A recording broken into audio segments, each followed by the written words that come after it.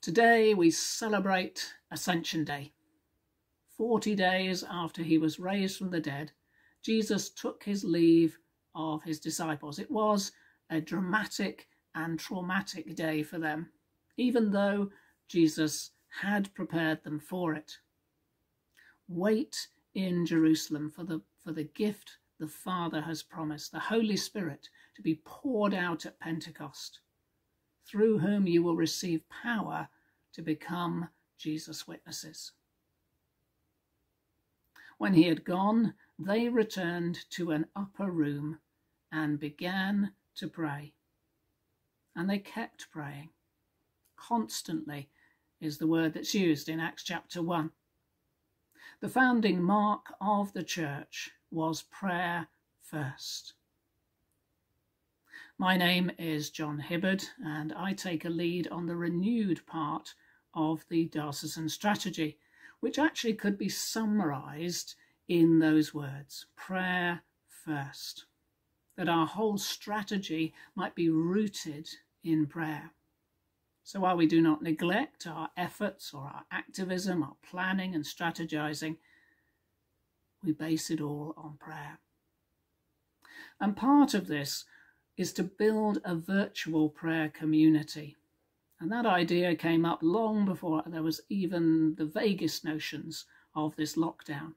A virtual community of 2025 who would each day um, pray the Lord's Prayer, pray the vision prayer, read at least one verse of scripture, and pray for our worshipping community to double to 2.5% of the population. Now, that's not a big ask in many ways, is it? So you'd think it will be a no brainer, right? Surely every ordained minister, every authorized lay minister, every congregation member will want to sign up. Well, that's not quite the case yet. It's not bad. We have about 800 people signed up, and that has grown significantly during the period of lockdown. But we've still got a long way to go to get to 2,025 people. Similarly, you'd think that every church, that every Christian would make prayer their number one priority in their own life, right? I mean, there is the privilege of coming into God's presence. Or there's that old adage when we work, we work. When we pray, God works. I don't know about you, but in some ways I'm most disappointed in myself as a disciple in the ways in which I have failed to translate this belief into consistent practice all too often the urge to do something wins out. Should I pray or have a meeting? Should I pray or write something?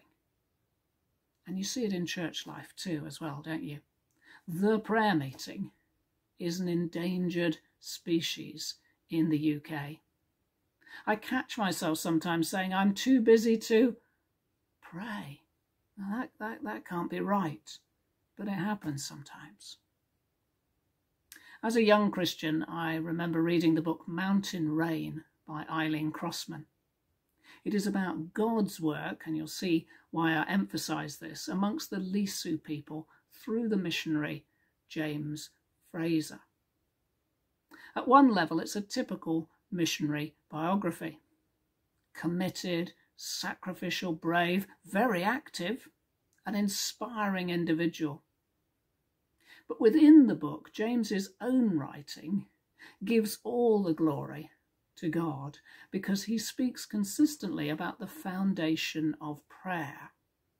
And particularly the letters that he wrote to prayer partners back in the UK, detailed about the work he was undertaking. And significantly for us, there was one season when heavy rains prevented a particular mission trip. Initially, he was hugely frustrated, but then he set to using the time to pray, like a person in lockdown. And he later reflected that God did so much more through his prayers than that visit could ever have achieved. It's a salutary lesson to activists like me, but it also inspires me to build this prayer community. Do you believe that prayer makes a vital difference? I know in one sense it's a mystery as to how this happens, but surely it is the consistent testimony of the stories through the Bible and through the history of the church that prayer changes things. So I would ask you, if you're not already a member, would you join us as part of the 2025 prayer community? If you are a member, then invite others. But having joined, don't just let it be a subscription, a tick on a list.